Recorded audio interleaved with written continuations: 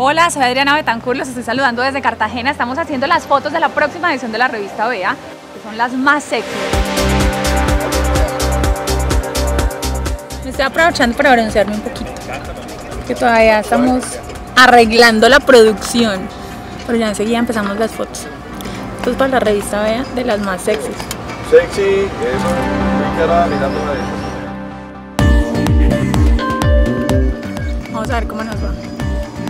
Si ustedes están viendo este video en este momento, porque me querían ver a mí, entonces voten por mí.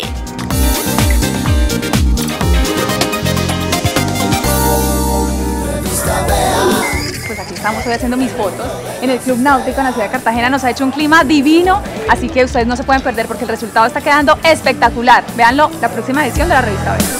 Bea.